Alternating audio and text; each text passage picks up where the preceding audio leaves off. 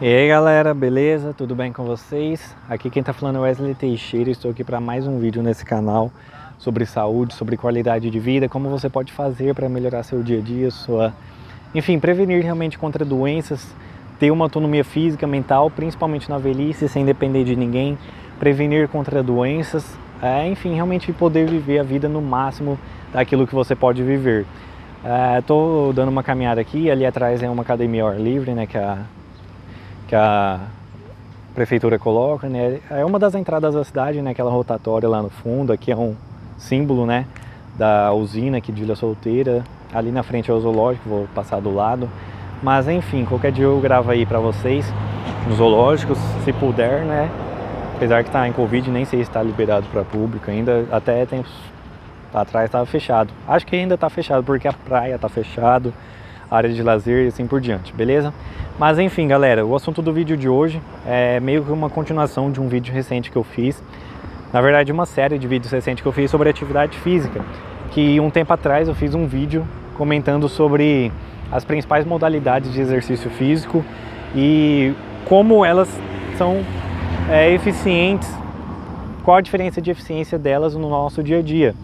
E há diferenças, né? Não é a mesma coisa. Sim, todas trazem benefícios se feitas adequadamente, é, da melhor maneira possível e no entanto há uma diferença entre você fazer uma caminhada e você fazer, claro, uma musculação, uma corrida, claramente você vai ter um condicionamento físico melhor e principalmente feito bem, a, bem de forma bem adequada, de forma bem inteligente, é, porque a partir de um certo momento a produção de radicais livres, de oxidantes, são maiores do que os antioxidantes, do que, enfim, substâncias benéficas. Então você não pode, ah, já que faz bem, eu vou fazer o máximo que der. Basta você pegar uma foto de um maratonista e uma foto de um atleta de 100 metros rasos, como o Bolt.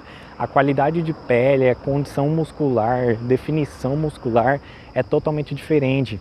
Os maratonistas geralmente têm um corpo é, muito depredado, com uma pele envelhecida, aparentam ter mais idade do que a idade de fato deles, enquanto um 100 metros rasos tem geralmente uma idade e aparenta ter ser mais jovem do que a idade de nascimento e assim por diante, beleza?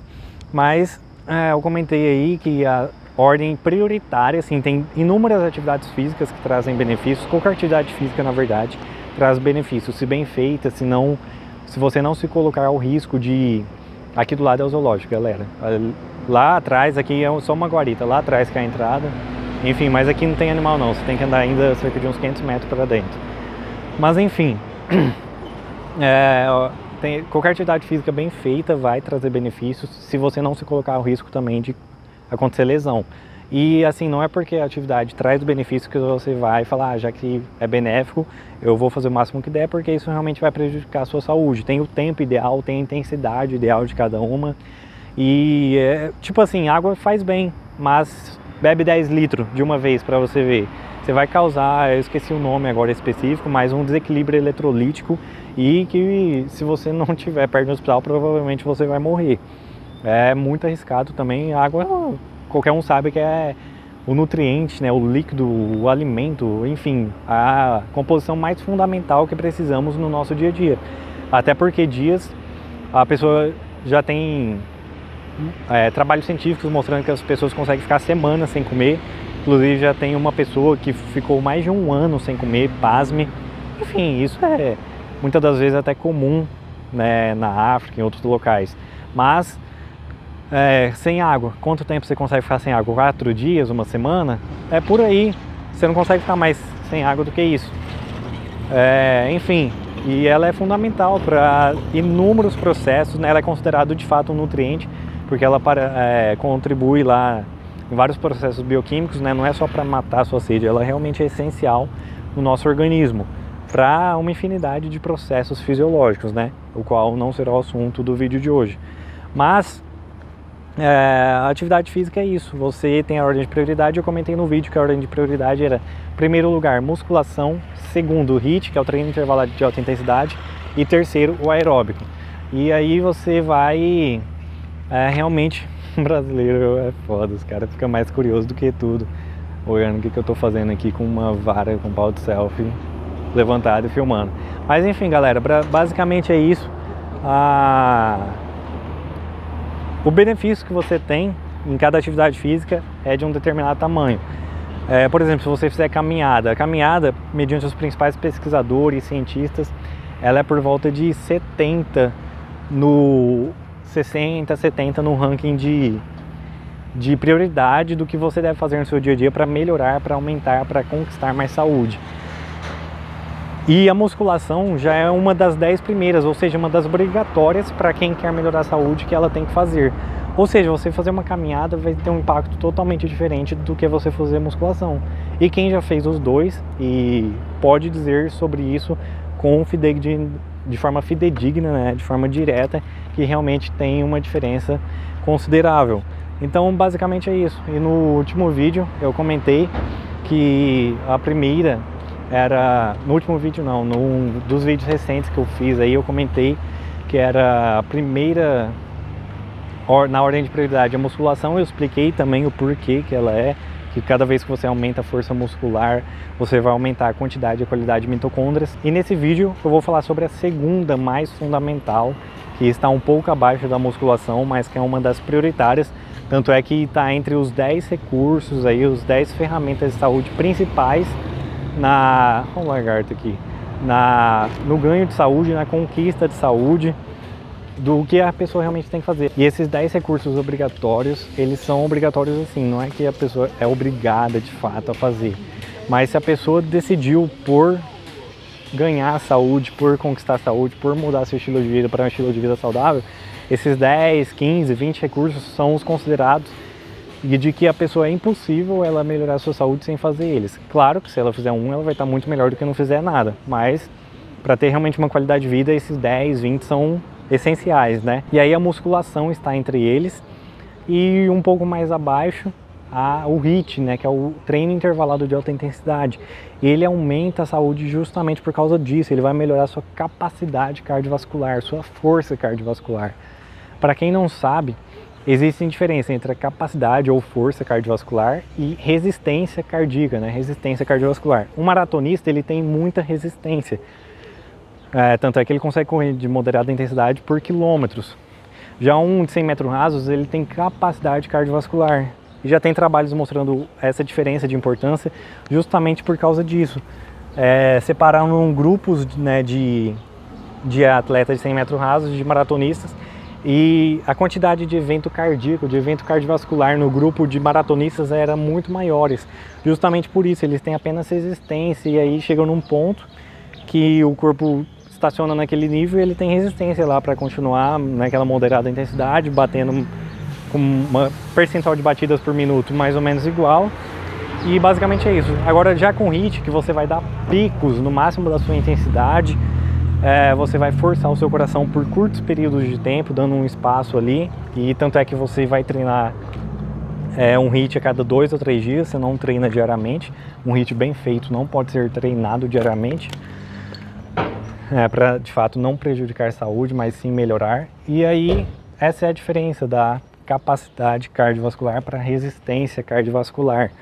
A capacidade, a força é muito mais importante porque é de fato que vai contribuir para desobstruir suas artérias, para fazer com que o sangue chegue com mais força, sem elevar sua pressão né, sem você ter pressão alta e fazer com que chegue também nos locais mais longínquos, né, mais longos do corpo, mas nos capilares mais finos, até porque se a pessoa não tem uma boa força cardiovascular, ela vai realmente levar o sangue só pelas artérias mais grossas e assim por diante, nos capilares finíssimos dos dedos, por exemplo, e assim por diante, ele não chega. Então, Basicamente é isso. O HIIT ou o treino intervalado de alta intensidade, ele é um dos recursos obrigatórios para essa, essa modalidade, para esse objetivo que a pessoa tiver, para realmente poder melhorar, aumentar a saúde, conquistar mais saúde, porque e, ao aumentar sua saúde cardíaca, sua saúde cardiovascular, sua força cardíaca, você vai também no mesmo mecanismo de ação da musculação. Você vai aumentar a sua condição de qualidade e quantidade de mitocôndrias. Ao fazer isso, naquele mesmo exemplo, né? Ao você aumentar a quantidade e a qualidade, você vai estar melhorando a eficiência metabólica do seu corpo. Você vai estar deixando o seu corpo com uma propensão melhor a acelerar o seu metabolismo em diversos aspectos. É, naquele mesmo exemplo do lixeiro, suponhamos que uma cidade tem um caminhão de lixo com um lixeiro. Vai, determinar um, vai demorar um determinado tempo para recolher o lixo de um bairro, por exemplo. Agora suponhamos que a cidade tem dois caminhões e com três lixeiros em cada caminhão. Vai demorar muito menos tempo. Então é basicamente isso. Ao você fazer não só musculação, mas o HIIT, principalmente se fizer os dois né, juntos assim, né, como hábito de vida, não necessariamente no mesmo instante, você vai estar melhorando demais sua saúde, porque os dois contribuem diretamente para aumentar a força muscular e para aumentar a capacidade, a força cardiovascular, cardíaca e ambos vão melhorar de forma significativa a quantidade e a qualidade das suas mitocôndrias. Infelizmente, para nós, assim, em laboratórios comuns, não tem como medir as mitocôndrias, apenas em faculdades renomadas para que fazem estudos científicos sobre isso e tudo mais. E talvez um ou outro laboratório em um país de primeiro mundo, mas que sai muito caro.